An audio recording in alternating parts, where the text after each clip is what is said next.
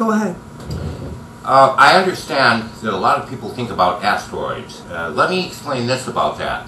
Is that um, it's very simple mathematics. All you need is uh, algebra, trigonometry, geometry, and calculus, and things of that nature. The calculus lets you plug all three in together and uh, know the laws of uh, Sir Isaac Newton, uh, people like that, the laws of Kepler, the laws of Einstein, Kepler, and Newton. Okay, then from there, um, what you can do is make calculations.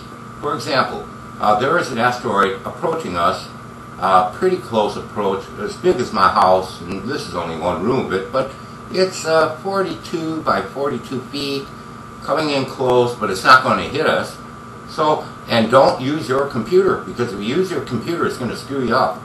Get out your pen, your paper, and figure it out yourself on a calculator. Don't use your computer for this, because the computer is going to screw you up.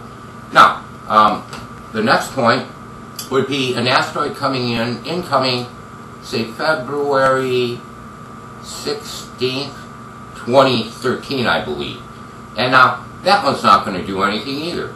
We're going to give it what we call gravitational assist. I don't want to get very uh, too technical with you, but I'm, I'm going to tell you nothing's going to hit us 2012 uh, or 2013. I'm not going to tell you, well, can anything happen in 2012? Nothing's going to hit us, though.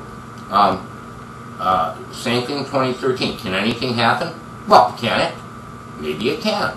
But nothing's going to hit us.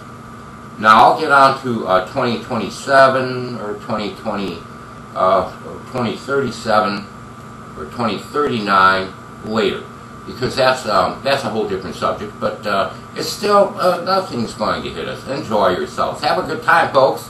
Talk to you later. Okay. Bye bye.